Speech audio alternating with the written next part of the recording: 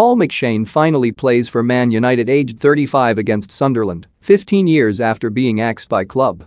Paul McShane played for Manchester United last night 15 years after leaving their academy.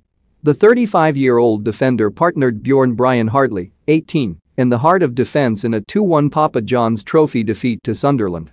The competition sees United field their under-21 side, however they are allowed to include two overage players. McShane, who rejoined the club in the summer as a player-coach, falls very much into that category.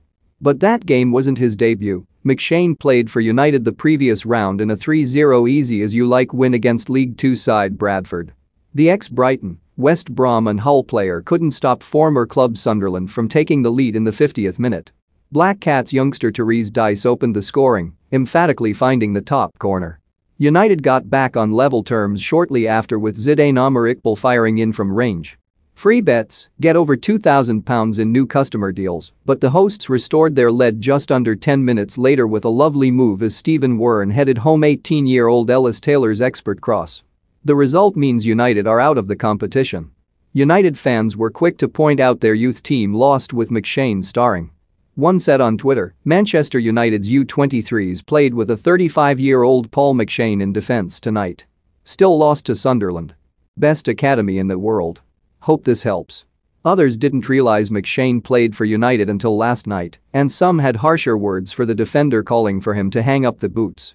A Sunderland fan, who watched McShane play for the club over a decade ago, recalled one of the defender's appearances in a friendly against Juventus.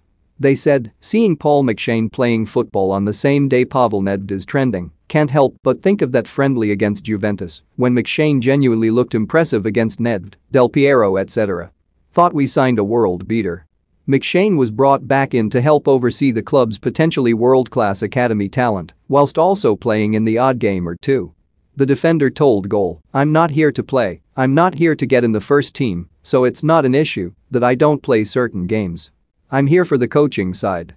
The beauty of it is that I can still play, so I can get a different perspective on things in training sessions and in